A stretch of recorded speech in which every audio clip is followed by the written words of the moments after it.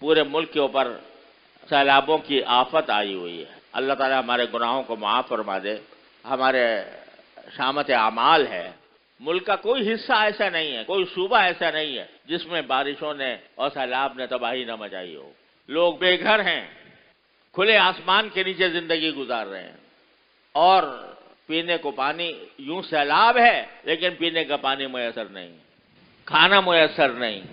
तो आज हमारे दिलों में कम से कम इतना दर्द तो होना चाहिए कि हम कसरत से उनके लिए दुआ करें। या अल्लाह ये हमारे शामत अमाल की वजह से हम पर यह बला मुसलत है। अल्लाह हमें अपने फजल करम से हमारे मुल्क को हमारे मुल्क की हमारी कौम को इस बला से इस इसे नजात अता फरमा दे। उनके लिए कोई ठिकाने का, जर, का ज़रिया बना दे। हर मुसलमान का ये फरीजा है। अफसोस है कि जो सियासी रहनुमा हैं वो अपनी सियासी जंग में लगे हुए हैं। कौन इकतदार में रहे, कौन इकतदार में आए? और उसके लिए लाख करोड़ों रुपया जलसों पे खर्च हो रहा है। मैं कभी सोचता हूँ कि पिछले तीन महीने का अगर अंदाज़ा लगाएँ, उसमें जितना पैसा, अरबों रुपया वो जलसों के अंदर खर्च हुआ है। चाहे वो जलसे हिजब इकतदार के हों या हिजब इख्तलाफ के हों, अगर वो पैसा किसी मुल्क के किसी तरक्की के मंसूबे पर इस्तेमाल हो जाता, वो गरीबों की दादरसी के लिए इस्तेमाल हो जाता तो कितनी बड़ी हमारे हमारे मुल्क के अंदर खुशहाली आ जाती लेकिन जबानी दावों में, तकरीरों में और बयानात में उस पैसे खर्च हो रहे हैं और वक्त भी खर्च हो रहा है। इसी तरह जब हम बाहर आप आपस में बैठते हैं तो उनके ऊपर तबसरे होते हैं और तबसरों के अंदर हम अपना वक्त ज़ाय करते हैं।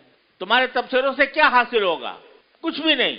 यही वक्त अगर अल्लाह ताला की तरफ़ रुजू करके अल्लाह ताला से मांगो कि अल्लाह हमारे मुल्क के हालात की इसलाह फरमा दीजिए, हमें अच्छे हुक्मरान अदा फरमा दीजिए, हमारी हुकूमत को हिदायत अदा फरमा दीजिए, हमारे लीडरों को हिदायत अदा फरमा दीजिए, और अल्लाह जो वफा, जो सैलाब की मुसीबत आई हुई है, उससे हमें नजात अदा फरमा दीजिए। तो ज़िक्र में सर्फ हो रहा है ये वक्त। और अल्लाह तबारक व अगर हमारे गुनाहों के मकबरत फरमा देंगे तो इंशाल्लाह ये मसाइब भी दूर हो जाएँगे। हर मुसलमान का ये काम है कि अपना वक्त इसमें खर्च करे। अल्लाह तबारक व अपने फजल करम से, अपनी रहमत से हमें इसकी तोफ़ी अदा फरमाए। पिछले जुमा को मैंने अपील की थी, कुछ सैलाब जरागान की इमदाद के लिए, अल्हम्दुलिल्लाह, लोगों ने उसमें बढ़ चढ़ कर हिस्सा लिया है।